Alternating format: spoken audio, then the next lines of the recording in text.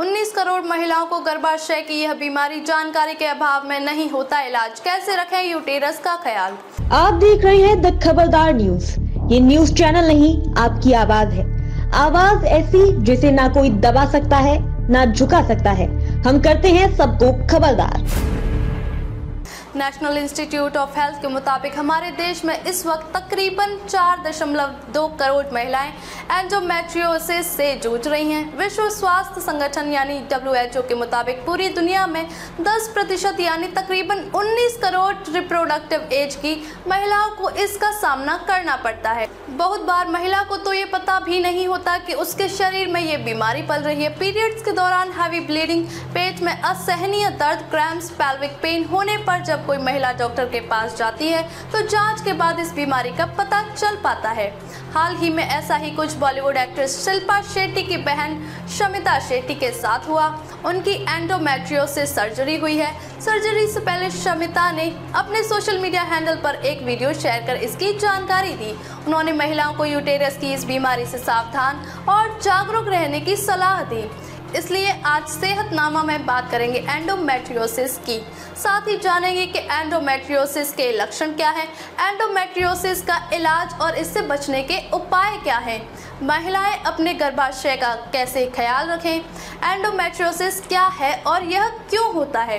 कानपुर की स्त्री रोग विशेषज्ञ डॉक्टर दीप्ति शुक्ला बताती हैं कि एंडोमेट्रियोसिस महिलाओं के यूटेरस यानी गर्भाशय से जुड़ी बीमारी है।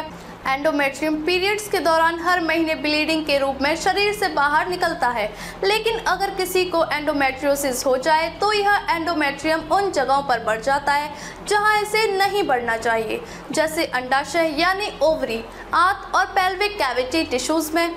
इसमें ब्लड बाहर निकलने की बजाय अंदर ट्यूब में ही जम जाता है। हेल्थ स्टडीज़ से पता चला है कि पूरी दुनिया में हर 10 में से एक महिला को एंडोमेट्रोसिस है। यह बीमारी महिलाओं में पाँच पर यानी इनफर्टिलिटी का भी प्रमुख कारण है।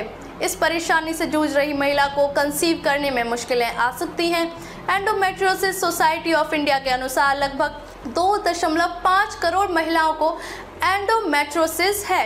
यह सबसे ज़्यादा 30 से 45 साल की महिलाओं में होता है। एंडोमेट्रोसिस के लक्षण में से एक पेल्विक पेन और इनफर्टिलिटी एंडोमेट्रोसिस का प्रमुख लक्षण ये है कि इसमें पेल्विक पेन होता है। पेल्विक पेन का अर्थ है नाभि के नीचे पेट और कमर में दर्द। आमतौर पर ये पीरियड्स के समय ओव्यूलेशन यानी जब एक ओवरी से निकलकर फेलोपियन ट्यूब में आता है, के दौरान या यौन संबंध के समय होता है। यह दर्द हल्का या बहुत ज़्यादा भी हो सकता है, साथ ही लगातार थकान और कमज़ोरी भी महसूस होती है। भारत में आमतौर पर एंडोमेट्रियोसिस का पता अक्सर दो ही स्थितियों में चलता है। असहनीय पीरियड्स पेन होने पर गर्भधारण न कर पाने पर उसका कारण ये है कि एंडोमेट्रियोसिस में यूटेरस की दीवारों पर होने वाली अनयूजुअल टिश्यू ग्रोथ और ब्लड क्लॉट कम या ज़्यादा कैसे भी हो सकते हैं।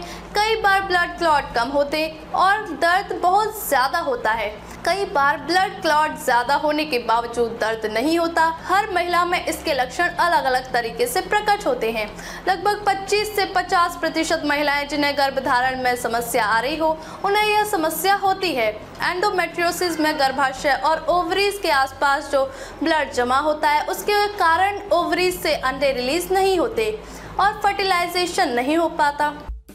अगर आपको वीडियो पसंद आई हो तो वीडियो को लाइक करें, शेयर करें और हमारे चैनल को सब्सक्राइब करना ना भूलें।